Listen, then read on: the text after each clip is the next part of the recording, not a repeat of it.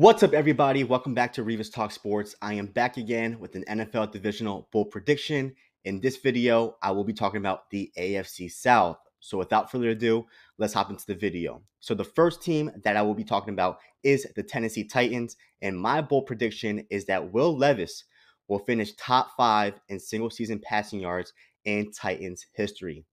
King Henry has gone to the Baltimore Ravens and they have a brand new coaching staff. And I personally believe that this will be one of the most pass heavy teams in the NFL.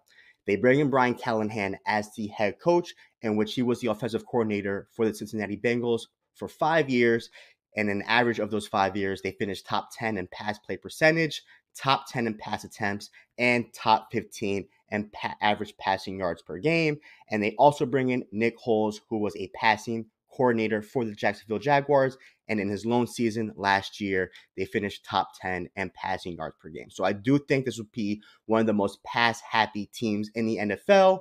They have DeAndre Hopkins, Calvin Ridley, Tyler Boyd, Treylon Burks is there, and they also have Pollard and Spears, who I believe will be a nice dash dash duo who will not only help in the run game, but also in the passing receiving game. Um, but I personally believe that with the new coaching staff and with the nice trio that they have and having Pollard and Spears, I do think that we will see Will Levis' potential. I do see that the ball is going to be flying at the Titans. And I personally believe that Will Levis will finish top 10 in single season passing yards in Titans history. Don't think that he'll shatter the Warren Moon's this season, but I can definitely see him overtaking Ryan Tannehill, in which Tannehill has the top three and top four spots in Titans history single season. So my bold prediction: Will Levis will be slinging the rock with a nice trio and nice receiving running backs and the new coaching staff. I expect Will Levis to probably finish top five in single season passing yards in Titans history. Now, the next team I will be talking about is the Jacksonville Jaguars. And my bold prediction is that Brian Thomas Jr. will lead the team in receiving yards.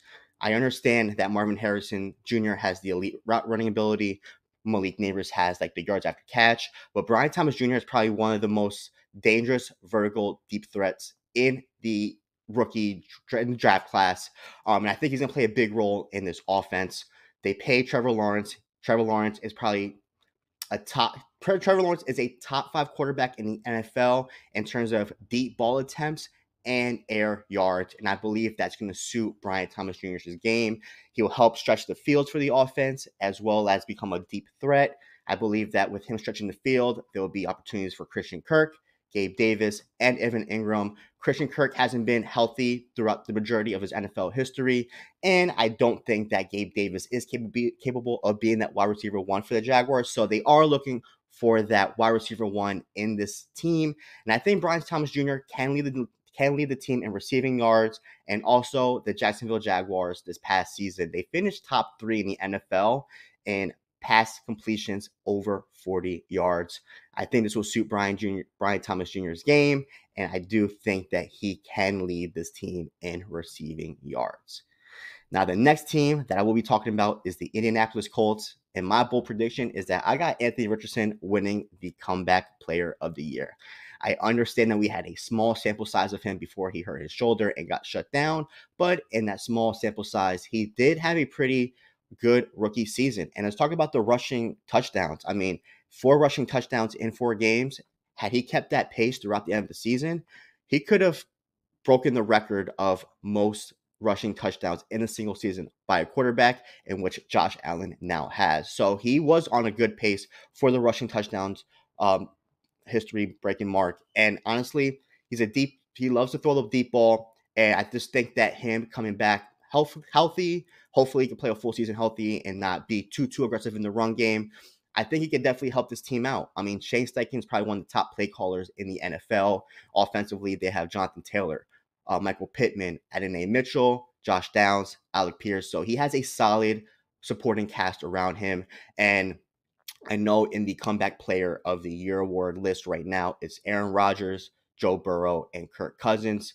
The one edge that I give Anthony Richardson over those three is his dual threat ability. Shane Steichen said that he is not going to limit him and let Richardson play his style. And if that is the case, I can see Anthony Richardson throwing for over 3,000 yards and having over 800 rushing yards. And he could potentially have 20 plus passing touchdowns and probably at least 10 rushing touchdowns, in which Kirk, Burrow, and Rodgers will probably not get.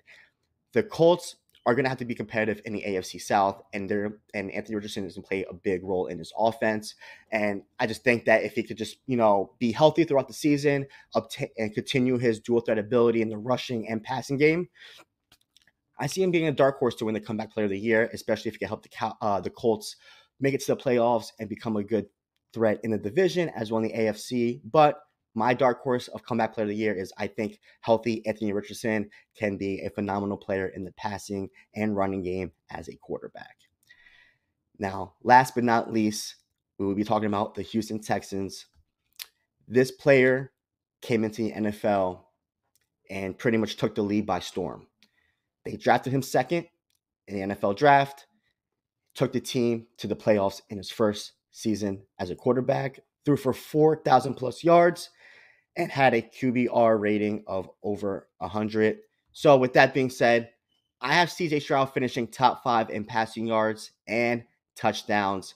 With the acquisition of Stefon Diggs and Joe Mixon, this offense is going to be gun blazing and going to be probably the most elite offensive core in the NFL. Yes, Stefon Diggs, Tank Dell, uh, Dalton Schultz, Nico Collins, and Joe Mixon. He's gonna he has probably one of the best supporting casts in the NFL. And you could definitely tell that the Texans have Super Bowl aspirations based off the draft class they had and offseason acquisitions. And this team is ready to roll. They had the potential to be back to back divisional winners, potential number one season in the AFC, depending on how the season goes. They do have a really, really tough schedule. I believe they had like a top four or fifth hardest schedule in the NFL. And they do have about six to seven primetime games in which they are against elite NFL teams. Most of them made the playoffs. Some of them made the conference championship game and a Super Bowl winner. So they're going to be on prime time. The lights are going to be bright for this Houston, Texas team to see what they are about. If CJ Stroud could have a phenomenal performance and at least win a majority of those games and have just dominant performances, just airing the ball out, multiple touchdowns, and potentially just show that he can be not only the face of the franchise, but be the next quarterback to take the league by storm, he could potentially have an MVP season. He could potentially have an MVP season if he is able to help the Texans win an extra game. So they won 10 last year. If he could help them win at least 12, win a majority of their primetime games, potentially lead the league in passing yards and touchdown passes, but just have a dominant performance in primetime specifically, CJ Stroud has a case to win MVP, and I would not blow it past me if he has a great season and wins the MVP. But I do think that he will finish top five in passing yards and t- and touchdowns just based off his supporting cast. And since he does have limited running ability, I just think that he'll remain in the pocket a lot and just sling the ball. And yeah, he could potentially be a top five quarterback by end of next season. Thank you so much for watching this video. If you enjoy the content, please give the video a thumbs up and let me know your thoughts in the comments below on your AFC South predictions. Thank you so much for watching this video and catch you next week.